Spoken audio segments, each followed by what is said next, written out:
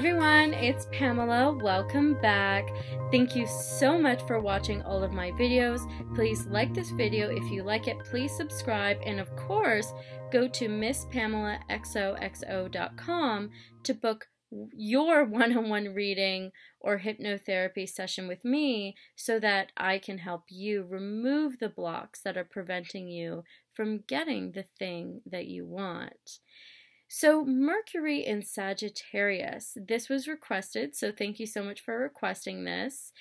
The messenger of the gods, Mercury, this planet of expansion and always wanting to see the brighter side of the equation, knowledge. So, what happens when Mercury is in Sagittarius?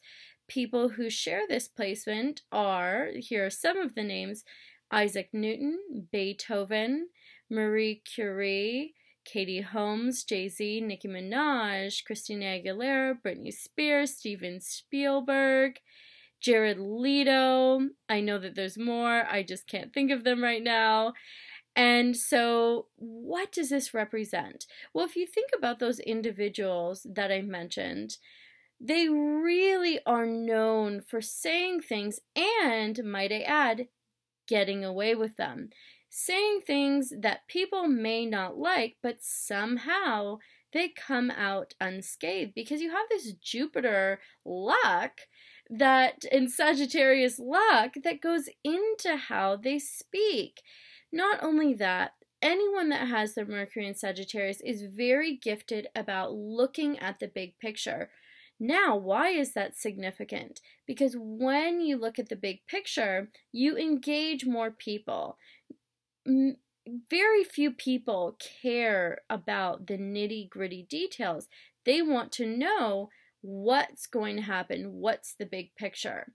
And when you're not able to do that, which which not everyone is, some people are very detail oriented, you know, it's easier to get backlash, which is actually one of the reasons why individuals that have Virgo placements can get that a little bit, that the devil's advocate thing, because whenever you're pointing out details, that's bound to happen, and they are very detail oriented. Anyways, back to Sagittarius.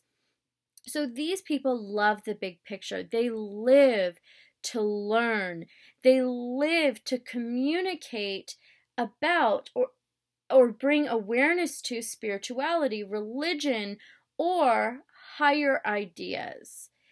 A lot of these people might either stay in school for a long time or continue studying whatever it is that interests them for a long time. Especially, you know, it used to be that that was the way that they'd stay in school a long time, but also now a lot of these people are breaking out of that mold, I would say, and following what they truly believe in. You know, these people are very intuitive and they communicate that very well, and they really trust their intuition despite other people saying that they're insane. I mean, I know that quite a few of the people that I mentioned very nasty things have been said about them in the realm of sanity. And and with that being said, they still created, they still gave the world these beautiful things that seem like they were from being communicated from another dimension, if you will, or, or a higher place, another place. These people also are only interested in discussing what is true. They don't remotely have time to talk about the birds and the bees or anything that they think is not true. You know, watch out because anyone with their their Mer- Mercury in Sagittarius takes with them the precision of a Scorpio. And they're able to not only have that, also the intellect of the higher education and that higher mind. So they kind of hit you from both sides, where a Scorpio might say something to bring you down to the depths. A Sagittarius person, or forgive me, someone with a Mercury and Sagittarius, will kind of play ping pong with you with their words, with the way that they think, or the way that they make you think. So, someone with their Mercury in Sagittarius definitely flies under the radar in this capacity. And I would definitely say that this is a sneaky little placement that you would want to look at. These individuals are very, very compatible with others that also speak the same way. Maybe even someone with their Mercury in Pisces, Aquarius, for example, possibly Scorpio as well.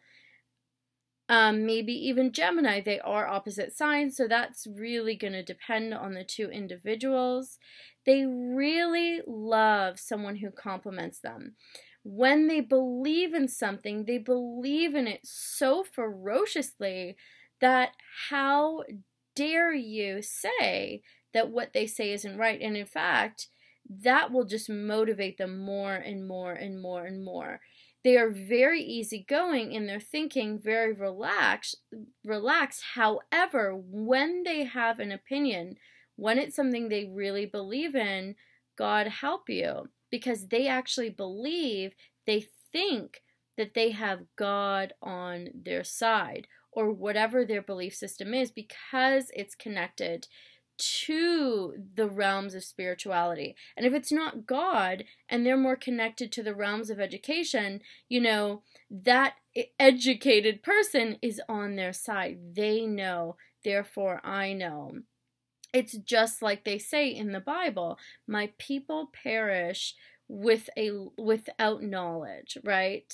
With a lack of knowledge my people perish. And that is so true to any person that has their Mercury in Sagittarius.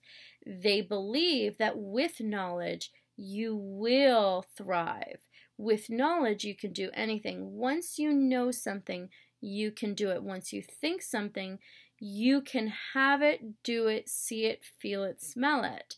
And this is the secret that they know that not everybody else knows yet. Maybe you do. I don't know.